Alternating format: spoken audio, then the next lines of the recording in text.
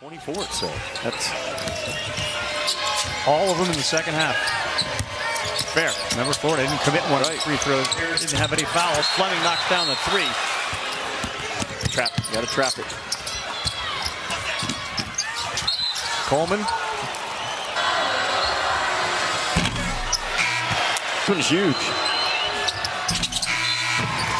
On the floor, Hefner there as well.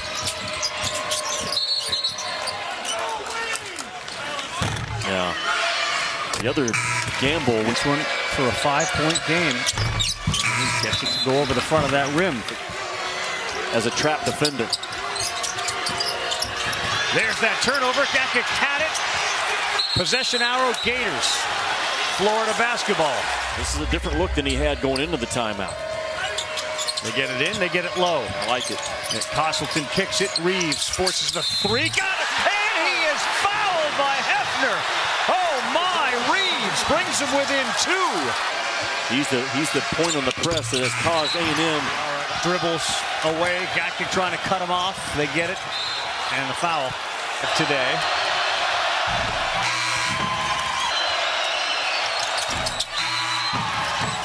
He's going to drop and cover. I like that much better than trapping in this situation. Shot clock and game clock are nearly identical. 21 seconds.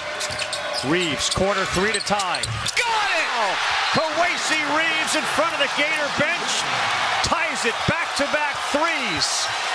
With 16 seconds, 17 and a half to go, it is 70-70 threes.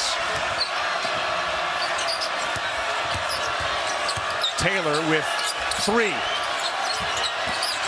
With one, the shot goes up, around and out, and no, we're going to overtime.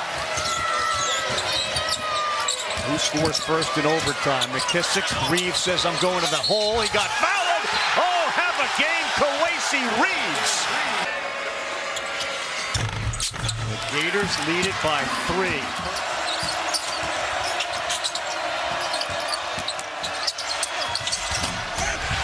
Way up, missed. Bodies on the floor. Rebound from the floor. Kick out, tie game. Oh, stretch here. But 18's a big digit. He was not going to be denied again. Wade Taylor driving. Mike White continues to trust players. Castleton alley-oop. Tough catch, but he knocks it in off the window. Taylor to get the ball moving. Make sure 12 and blue gets a touch right now if you're Florida. Foul. Got it. Yeah. Phlandrous Fleming with a chance to tie it.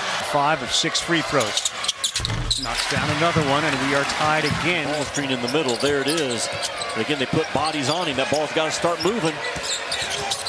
Tough shot, Fleming. Got it! Oh, Phlandrous Fleming to his left. Gets it to go. He's a guy they like to see get the ball and then drive it inbounds. Out of bounds. Boy, a lot of contact. Both Buzz Williams and Mike White. The reaction was to it. In any event, the free throw is good. Just to play with. Middle ball screen by Castleton. They continue to put bodies on him when he rolls out. Fleming's been big here. Reeves as well. It's Fleming. Three. Oh, my gosh. Pin between the rim and, ball. and the backboard, and the possession arrow is A&M. Of Radford, the junior from Baton Rouge, Louisiana. Their toughest guy. You know how I feel about tough guys late game. One-on-one, -on -one, he picked up his dribble. Kicks it off. Long three. Good! Hassan Diarra with one-tenth of a second to go. Buries a three. The second probably here.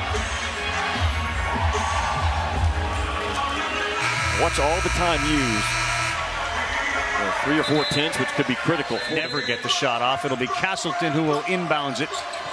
And he will fire it up in the air, and that will be out of bounds, and that'll do it. A&M lives to fight another day.